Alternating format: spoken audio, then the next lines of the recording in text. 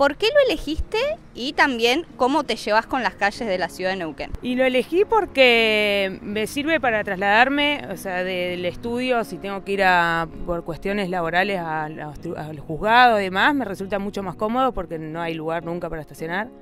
Eh, incluso las veces que vengo en auto pierdo un montón de tiempo.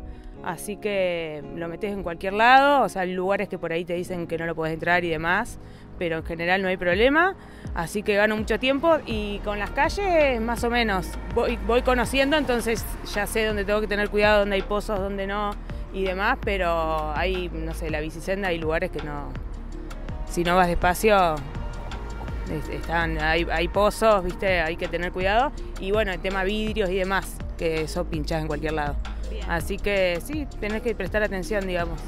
¿Notas que se incrementó eh, la presencia de monopatines? Sí, lleno de monopatines. Antes, cuando inicialmente tenía el, primero, me paraba todo el mundo, todo el mundo me preguntaba cómo era, cómo se cargaba, o sea, como que era raro verlo.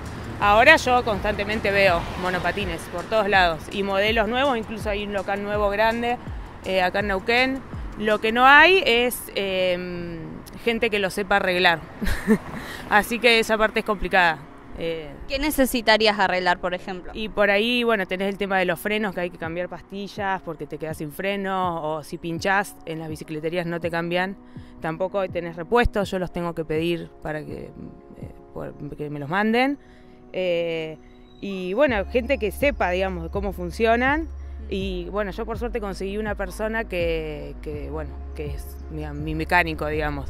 Pero sí necesita cada tanto, o controlar el tema de la batería, o algo que se te afloja, o bueno, es como que no, no hay tanta gente que se dedica a eso acá en Neuquén por lo menos.